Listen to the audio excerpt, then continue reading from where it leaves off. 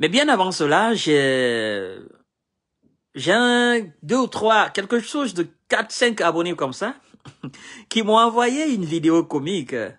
Ben bon, moi-même j'avais eu des, des échos par rapport à cela, mais je n'étais pas sûr sincèrement. Alors, bon, c'est quand même comique, mesdames et messieurs. Partagez le live, c'est vraiment comique. Et là, on cite le nom de Monsieur Komara. Monsieur Komara, l'ex-ministre sous régime d'Addis, ou Sekouba, quelque chose comme ça, dans une affaire digne d'un film, d'un film d'horreur. Ouais, Monsieur Komara, qui a été premier, ministre sous euh, la transition euh, de 2010. Alors, j'ai regardé la vidéo, mesdames et messieurs. C'est pourquoi je dis, est-ce que c'est vrai ça, Monsieur Komara? Ouais, bonjour, bonjour, bonjour, bonjour à tout le monde. Bonjour, bonjour, bonjour, bonjour à tout le monde. Bonjour. Alors, il y a un frère, euh, je sais pas s'il est aux États-Unis ou au Canada, du frère du nom de... Je me permets de citer son nom parce qu'on m'a envoyé sa vidéo. Comme vous le savez, moi je regarde pas souvent euh, les, les blogueurs sur la toile. Mais nous avons tellement d'abonnés, tellement d'abonnés qui, qui sont abonnés à toutes les pages de la Guinée, euh, les pages étrangères aussi. Donc du coup, quand ils, ont des informations euh, précieuses comme ça, ils nous envoient euh, dans les inbox. Parfois, on prend le temps de feuilleter deux trois secondes. Et puis, si c'est intéressant, on essaye de tirer profit. Et si c'est aussi pas intéressant, ben écoute, on fait comme si de rien n'était. Alors, je dirais pas que c'est une information qui vient de moi, mais ce qu'il a révélé quand même, j'avais eu des échos par rapport euh, à cela. hein. Il parle de de, de l'ambassade de France qui est allée euh, à Cancan. Il parle de Monsieur Komara. Euh, il parle d'une organisation euh, qui serait sur le point euh, d'être mise en place. Une organisation du Manding. À la base, selon lui, c'est Monsieur Komara qui serait euh, évidemment euh, le candidat potentiel pour prendre tête euh, de cette organisation et essayer de dissoudre le RPG arc-en-ciel, chose que lui n'aime pas, d'accord. Qu'ils ont eu à faire des conférences en Haute-Guinée, là où on a parlé de Malinké, Maninka, Maninka, Maninka, Maninka, et donc lui, n'est pas, euh, il n'est pas, il n'approuve pas cette décision, il désapprouve, chose qu'il dénonce aussi avec euh, férocité. Je pense que les communicants, euh, militants sympathisants du RPG Arc-en-Ciel, euh, ils ont, ils ont commencé à comprendre la lutte que nous autres nous avons menée depuis euh, sous l'ère Alpha Condé. Parce que quand nous nous parlions ici de l'injustice vis-à-vis d'une communauté en République de Guinée, ils pensaient qu'on était là pour saboter le régime d'Alpha Condé, mais aujourd'hui ils sont confrontés à la même chose. C'est-à-dire des militants du RPG Arc-en-Ciel qui ne sont pas des malinqués et qui constatent, alors fort étonnement, que il y a une autre organisation euh, qui est en préparation pour essayer de concurrencer le RPG Arc-en-Ciel. Et selon eux, cette organisation, la personne qui serait derrière cela, c'est Monsieur Komara en connivence avec le colonel Mamadi Doumbouya. Ça ne vient pas de moi, c'est selon eux. Ils disent d'ailleurs que l'ambassadeur de la France euh, en Guinée est allé en, Haute-Guinée à Cancan pour des trucs comme ça. Ben, Moi, c'est que j'aime, c'est que je veux savoir exactement de leurs affirmations, de ces allocutions. euh, pour moi, c'est sont des trucs infondés, jusqu'à preuve contraire. Alors, par rapport à cette euh, problématique de l'avocat, de, de l'ambassade, de l'ambassadeur de France, euh, la présence de ce dernier euh, euh, à Cancan, je me pose la question, est-ce les 72 heures qu'on avait données à l'ambassadeur euh, de la France au Mali, est-ce cet ambassadeur qui est entré en Guinée par la voie terrestre et que euh, euh, euh, celui de la Guinée est allé accueillir à Cancan? Est-ce c'est ça? Parce que depuis que je suis en Guinée, quand même, j'ai jamais eu connaissance de ces choses pareilles que l'ambassadeur de France se déplace aller à l'intérieur du pays, à Cancan ou quelque, quelque part d'autre. Non, depuis que moi je, je suis en Guinée, j'ai jamais assisté à cela. Oui, c'est M. Kabina Komara, effectivement, on parle de lui. Donc, d'abord, il y a deux choses. Il y a cette organisation dont M. Kabine Koumara serait à la base, et puis il y a le déplacement de l'ambassadeur de la France, euh, euh, l'ambassadeur qui est en Guinée, parce que la France a des ambassadeurs un peu partout, il y a des ambassadeurs français un peu partout dans le monde entier. Alors moi je me dis, est-ce que c'est l'ambassadeur qui était au Mali, qui est rentré en Guinée par la voie terrestre, et que c'est lui de la Guinée, l'ambassadeur de la France qui est en Guinée, est venu accueillir à Cancan? Parce que il faut quand même euh, savoir que Cancan, euh, après Cancan, c'est Sigiri, après Sigiri, c'est Kourimali. Kourimali, vous êtes à Bamako. Donc, est-ce que c'est ce dernier que l'ambassadeur de la France euh, à Conakry est venu accueillir, ou bien l'ambassadeur de France en Guinée s'est déplacé aller à Cancan euh, pour une autre chose? Et si c'est autre chose, alors qu'on nous dise la vérité. Alors, on, me dit ici qu'il est à l'abbé encore, que l'ambassadeur de la France, il est à l'abbé encore. Alors, certainement, les ambassadeurs euh, partent même jusqu'au fin fond des villages en Guinée. Bon, écoutez, de toutes les façons, ça va dans tous les sens. On ne sait pas pourquoi ces ambassadeurs-là, euh, ils vont à l'intérieur, euh, au fin fond du pays. On ne sait pas, parce que c'est quelque chose qui est étrange pour les Guinéens. Hmm? surtout pour la, nouvelle génération, on se pose la question de savoir pourquoi un ambassadeur de la France euh, euh, va effectuer un déplacement pour aller à l'intérieur du pays. Il va s'enquérir de quelle information? Il va chercher quoi là-bas? Bref, ça c'est notre explication. Nous allons tenter d'expliquer ça plus tard, quand nous aurons des informations réelles, des informations crues sur le dossier. Mais la chose la plus importante là, dans cette vidéo, je parle de M. Kabinet Komara, qui était Premier ministre euh, au temps de Dadis et de Sekouba. Alors, le jeune homme nous dit dans sa vidéo, il dit que euh, ne veulent plus de Malinké à la tête du RPG Arc-en-Ciel. Il dit que c'est fini ça. Que eux, ils s'opposent catégoriquement à cette politique, qu'ils ne veulent plus de Malinké à la tête du RPG Arc-en-Ciel. Alors que si c'est pas Kassouri Fofana, ou une autre, un, autre, un autre leader issu d'une autre ethnie, mais qu'eux, ils vont plus accepter qu'un autre malinqué dirige le RPG arc-en-ciel. Ça, c'est un point. OK? Donc, ils veulent euh, une nouvelle tête. Je crois qu'ils ont eu l'expérience déjà avec les cadres malinqués. Ça, c'est une nouvelle donne. La deuxième, c'est que le même jeune nous dit que M. Kabinet Komara serait à la base d'une organisation poussée par le colonel Mamadi Doumbouya. Ce n'est pas l'affirmation de M. Kanté. D'accord? J'avais eu les mêmes informations, mais vous savez, en Guinée, les informations vont très loin, vont très rapidement. Les rumeurs aussi, ça va, ça, les rumeurs, ça va rapidement. Mesdames et messieurs.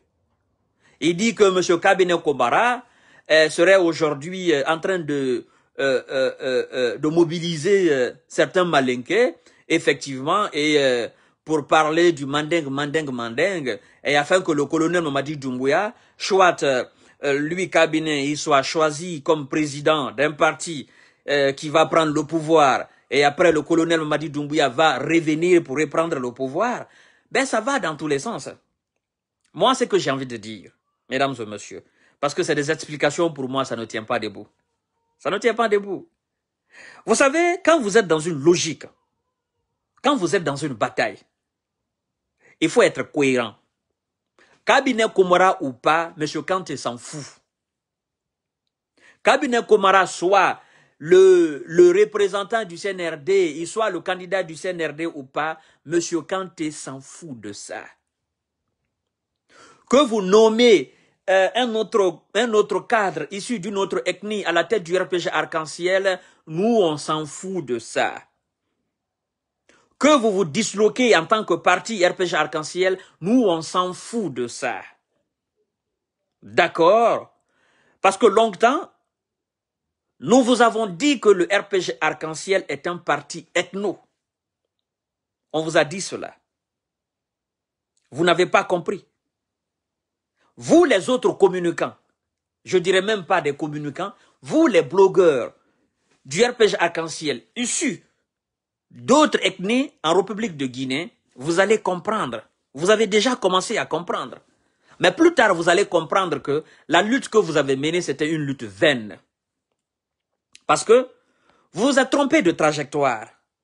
Soit vous menez une lutte pour le, pour le professeur Alpha Condé, parce que je vois quand même quelques blogueurs du RPG Arc-en-Ciel qui disent que, écoutez, non, pas même du RPG Arc-en-Ciel, je vois quand même quelques blogueurs sur la toile qui disent ouvertement, je ne suis pas du RPG Arc-en-Ciel. Je suis pour le professeur Alpha Condé. Je défends les acquis matériels et immatériels du professeur Alpha Condé. Ceux-là, moi, je les comprends. Et ce sont les plus nombreux parmi les blogueurs qu'on tag souvent du RPJ. D'accord? J'ai pris l'exemple la fois dernière sur Mahmoud Silla de la Grèce. Ce jeune homme-là, il a ouvertement dit qu'il n'est pas du RPG arc-en-ciel, mais qu'il défend les acquis matériels et immatériels du professeur Alpha Condé. Et mon jeune frère euh, qui est aux États-Unis, il a aussi beaucoup, il a aussi dit maintes fois, il dit qu'il n'est pas militant sympathisant du RPG arc-en-ciel, mais que lui, c'est Alpha Condé qu'il défend. Alors, je ne sais pas quel blogueur qui est, est issu du RPG arc-en-ciel. Mais je vais vous dire quelque chose. Même si vous n'êtes pas du RPG arc-en-ciel, que vous défendiez effectivement les acquis matériels et immatériels du professeur Alpha Condé, vous devez comprendre que Alpha Condé n'est plus à la tête de la, de la République de Guinée. Alors, soit vous êtes du RPG arc-en-ciel, vous assumez votre position, ou bien vous n'êtes pas du RPG arc-en-ciel, vous êtes de Alpha Condé, Alpha Condé n'est plus, il ne reviendra plus à la tête de la République de Guinée, vous définissez votre position. Ou bien vous êtes impartial comme M. Kanté. Je ne suis ni de l'UFDG, encore moins de l'ANAD. Je ne suis pas du RPG Arc-en-Ciel, encore moins de PADES ou de, PDN. Je suis juste un jeune Guinéen à la quête de la vérité. Je suis juste un jeune Guinéen qui relate les réalités de la République du Guinée. Et le fait de relater ces réalités de la République de Guinée, on dit la vérité. Bien évidemment. Alors, que vous parlez aujourd'hui du RPG Arc-en-Ciel, vous ne voulez pas en malinquer à la tête du RPG Arc-en-Ciel, vous êtes qui au RPG Arc-en-Ciel? Jeune blogueur, vous qui défendiez les acquis matériels et immatériels d'Alpha Condé. Alors, soit vous assumez, dans, dans ce cas, vous assumez que le RPG Arc-en-Ciel est un acquis matériel et immatériel du professeur Alpha Condé. Et que vous n'accepterez jamais qu'on fasse du mal au RPG arc-en-ciel. Je peux vous comprendre aussi dans ce sens. Parce que le RPG arc-en-ciel, c'est la propriété privée de Alpha Condé. C'est pas pour Kassouri, c'est pas pour Mohamed Djane, c'est pas pour Tibou Kamara, c'est pas pour Okomara, c'est pas pour le colonel Mamadi Doumbouya, c'est la propriété privée de Alpha Condé. C'est pourquoi il vous a dit j'ai pas été successeur de quelqu'un et ceux qui se fatiguent pour être, pour me succéder à la tête de mon parti, c'est leur problème. Alpha Condé vous a toujours dit cela. Alors vous, jeunes blogueurs, je ne vois pas de raison pourquoi vous vous attaquez à M. Komara, cabinet Komara. Si cabinet Komara est, dans une démarche avec le colonel Mamadi Doumbouya, mais ça signifie tout simplement que cabinet Komara n'a jamais été ni de près ni de loin RPGiste. S'il est dans une démarche avec le colonel Mamadi Doumbouya, cela n'engage que Cabinet Komara et le colonel Mamadi Doumbouya. Cabinet Komara est qui dans votre RPG arc-en-ciel pour vous imposer un malinqué à la tête de votre RPG arc-en-ciel? Il est qui? Est-ce qu'il est, d'abord cadre du RPG arc-en-ciel? Est-ce qu'il est militant sympathisant du RPG arc-en-ciel? Je ne crois pas. Alors, si Cabinet Komara est dans une démarche de déstabilisation du RPG arc-en-ciel, ça c'est pas nouveau. Le RPG Arc-en-Ciel aussi a déstabilisé des partis. Le RPG Arc-en-Ciel était dans la même démarche de déstabilisation de l'opposition guinéenne qui regroupe en son sein les partis politiques. Je ne vois pas pourquoi vous vous en prenez à M. Cabinet Komara. cabinet Kobara, ben, si le colonel Mamadi Doumbouya veut, alors qu'il crée un parti politique, que cabinet Komora devienne le président de ce parti politique. Nous, on s'en fout. Alors, je pense que vous, votre problème, vous ne voulez pas un parti qui va concurrencer le RPG arc-en-ciel en Haute-Guinée. Vous ne voulez pas un parti avec un poids lourd, c'est-à-dire un parti issu de la Haute-Guinée avec un poids aussi lourd que le RPG arc-en-ciel en Haute-Guinée. C'est ça votre problème. Alors si c'est ça, moi j'encourage M. Kabine Komara, je l'encourage de créer son parti politique. Et je l'encourage de diviser et de disloquer le RPG arc-en-ciel, s'il a la capacité. Les partis politiques sont faits pour ça. On a vu le RPG arc-en-ciel qui cherchait aussi à disloquer l'UFDG, à enterrer l'UFDG. On a vu le professeur Alpha Condé qui se taguait en disant que j'ai fini avec l'UFR de Sidi Touré. Les partis politiques sont, sont dans, dans, cette démarche-là. Alpha Condé, s'il avait la capacité de disloquer et de dissoudre et d'anéantir complètement l'UFDG et l'ANAD, il allait le faire. C'est parce qu'il a tenté qu'il n'a pas pu. Si aujourd'hui, M. Lansana Kouyaté a la capacité de dissoudre l'UFDG, de disloquer l'UFDG et de bannir l'UFDG sur la scène politique en République de Guinée, Lansana va le faire. Qui n'aime pas voir son concurrent tomber? Tout le monde. Et même si aujourd'hui, l'UFDG, M. Selou Dalen a la capacité aujourd'hui de, de c'est-à-dire de, de, de, piocher tous les militants sympathisants du RPG Arc-en-Ciel afin de les rallier à l'UFDG, M. Selou Dalen va le faire. S'il a la capacité même de, c'est-à-dire de, de neutraliser complètement le RPG Arc-en-Ciel, il va le faire. Ce sont des concurrents. Ce sont des politiques. Vous devez comprendre cela. Alors, M. Kabinet Komara, M. Fama Kanté vous encourage à créer votre parti politique. Vous êtes guinéen comme tout le monde. Et si vous avez même la capacité de disloquer le RPG arc-en-ciel et de tirer, c'est-à-dire d'amener ces, militants sympathisants vers vous, à voter pour vous, dans les élections qui vont suivre là, faites-le. M. Kanté vous encourage. Personne n'a le monopole des militants sympathisants des partis politiques en République de Guinée. Les militants de l'UFDG peuvent aller dans le RPG Arc-en-Ciel. Les militants du RPG peuvent venir dans l'UFDG. Les militants de PDN peuvent aller où bon, le, bon les semble. Donc, mesdames et messieurs, ne vous attaquez pas à M. Cabinet Komara. D'accord? Alors, vous parlez de mandingue, de pouvoir de mandingue. Vous parlez de manipulation des, des malinqués. Je vais vous dire quelque chose, mesdames et messieurs. Parce que vous ne comprenez pas la politique. Non, vous ne comprenez pas la politique. Alpha Condé, toute la politique d'Alpha Condé, toute cette masse qui était derrière Alpha Condé, il a commencé quand? Je vais vous dire, Alpha Condé a commencé quand? La popularité d'Alpha Condé a commencé quand? Alpha Condé n'était pas populaire au temps d'Ahmed Sektouré. Il n'était même pas connu par les Guinéens ou tout du moins c'est par la plupart des Guinéens. Il a fallu que Ahmed Sektouré meure.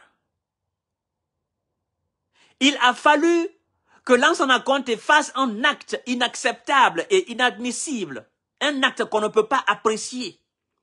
Puisque, vous vous souvenez bien de cette affaire de Djara en 85, en 84, 84-85, quand Lansana Conte a dit au Sousou Wofatara, ça a été quelque chose de monstrueux.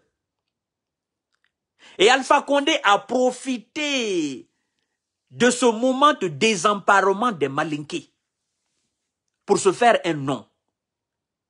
Et les malinqués, en ce moment, nos parents, ils ont dit quoi? Oh, on a gagné un représentant. Et tout le monde est parti directement chez Alpha Condé, directement derrière lui.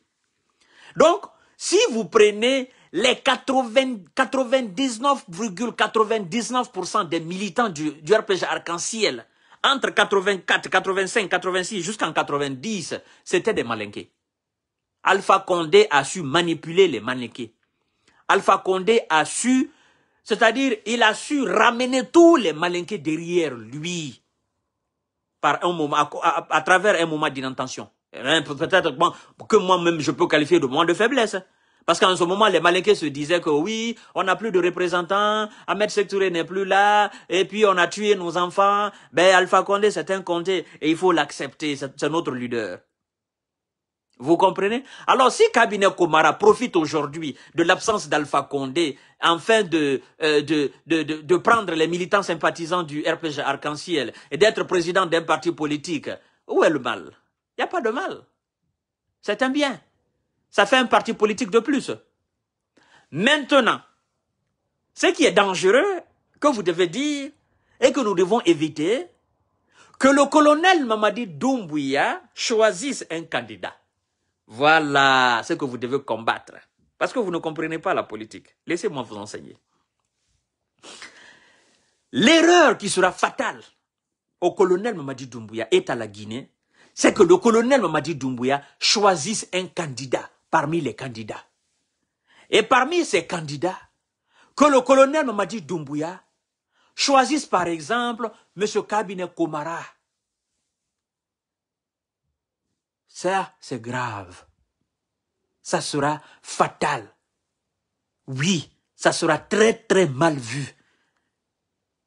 Et ça, c'est inadmissible. C'est ce que nous devons combattre. Mais que le colonel laisse ou que tous les Guinéens laissent M. Kabinet Komara créer son parti politique, qu'il vienne participer aux élections présidentielles, ce qui est normal. D'accord, mesdames et messieurs Alors, que celui qui remporte les élections, la voix du peuple, soit proclamée à la télévision nationale, voilà ce qu'on attend du colonel. Mais Kabina Komara a tenu des discours, Andel Mankal, Andel Mankal, Andel Mankal, Tende. Nous, on s'en fout de ça. Moi, je suis du Manding, mais je m'en fous de ça. Si tous les cadres malinqués veulent qu'ils passent tout leur temps à faire des discours en malinqué, c'est pas mon problème. Mon problème, que le colonel Mamadi Doumbouya fasse la transition, respecte ses engagements et aille au bout de ce qu'il a entamé et qu'il sorte par la grande porte. Le reste, c'est pas mon problème. Parce que je sais que si le colonel organise les élections crédibles, transparentes, démocratiques, tous les Guinéens savent, c'est lui qui va gagner. Ça, c'est incontesté. D'accord? Mais ce cabinet Komara qui n'a même pas d'abord un parti politique. Parlez de Lansana Kouyaté. Parler de, de docteur Ousoukaba. Cela au moins, on peut comprendre. Mais quel poids M. Kabinet Komara a en Guinée sur la scène politique? Il n'est même pas d'abord déclaré politicien. Voyez-vous, mesdames et messieurs, la manière dont les Guinéens, ils mélangent tout? Vous parlez, on va nous imposer un président malinqué, on veut... Ça, c'est votre problème, ça.